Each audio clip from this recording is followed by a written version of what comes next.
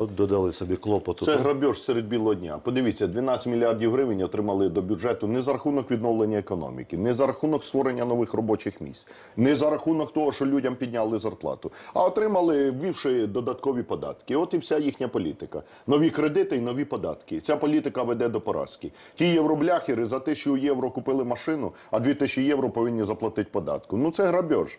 Я зміню... там пільговий акциз, Е, я зміню цей закон максимум 500 доларів. Заплати з машини, хай їздить, заробляє, годує свою сім'ю. Е, ну, Бюджет треба наповнювати не за рахунок тих, хто отримує мінімальну зарплату, чи за рахунок євробляхерів. Бюджет треба наповнювати за рахунок відновлення економіки, збільшення зарплат.